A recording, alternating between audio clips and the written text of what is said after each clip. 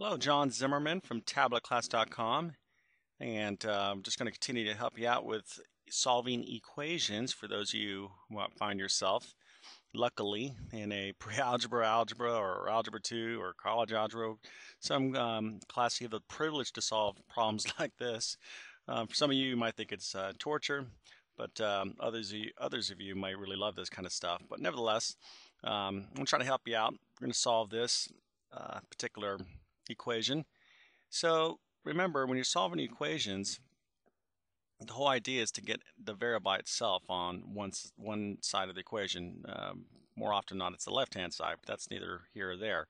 So notice right here we have an expression with some parentheses. Okay, that's a big flag to do like the distributive property. Okay, so we have to start simplifying this equation and rewriting it in a simpler and simpler and simpler manner until we get x equals a number. Okay, so that's the objective. So the first thing is to do this distributive property, and hopefully you know what that is. Okay, I'm going to have to go 4 times x. All right, I'm going to distribute. That means like pass out, right? I'm going to pass out that 4 to the x and to that negative 2. So this is the way it goes. 4x minus 4 times 2, or negative 2. All right, so I get a negative 8.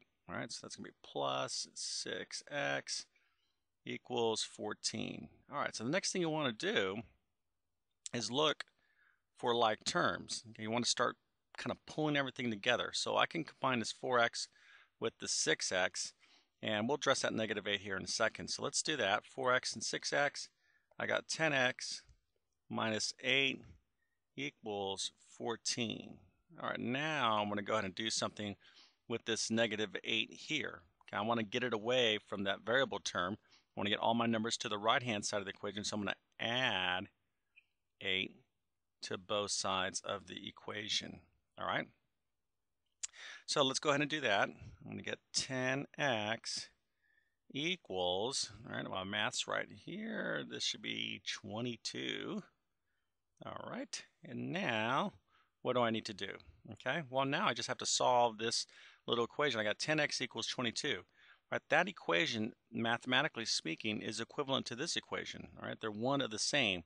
All we've been doing is been taking steps in algebra to simplify. Okay, there's fancy names for these steps. I'm not going to get into that.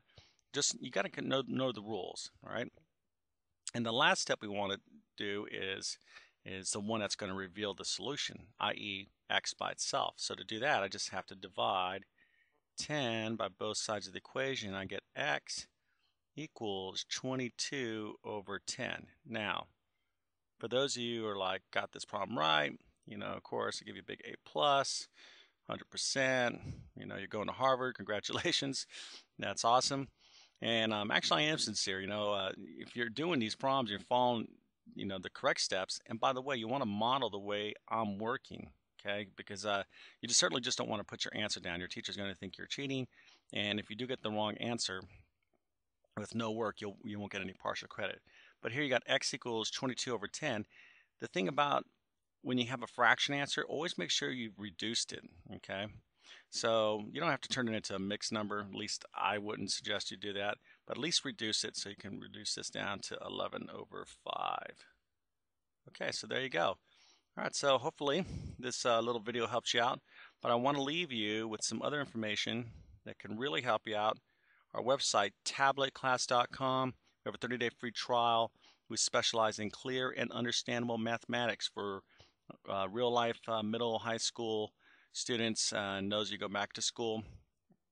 And uh, the reason why our product's so good is because we explain things in a way that actually connects with real-life students. Okay, not all of us are A-plus students or whizzes in math, so we need someone to kind of explain to us, and that's a little bit different than teaching.